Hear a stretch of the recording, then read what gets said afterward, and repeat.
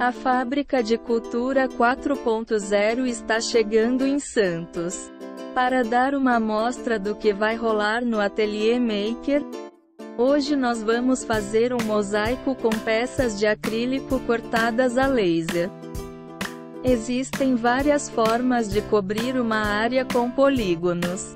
Podemos usar quadrados, ou triângulos, ou hexágonos, ou ainda combinarmos polígonos diferentes. Mas se a gente tentar com pentágonos regulares, não vamos conseguir, pois vão ficar espaços vazios. Em 1974, o matemático Roger Penrose descobriu um novo tipo de mosaico utilizando dois tipos diferentes de losangos.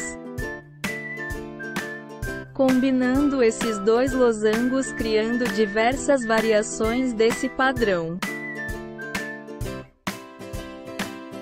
Vamos fazer esse mosaico usando peças de acrílico cortadas a laser.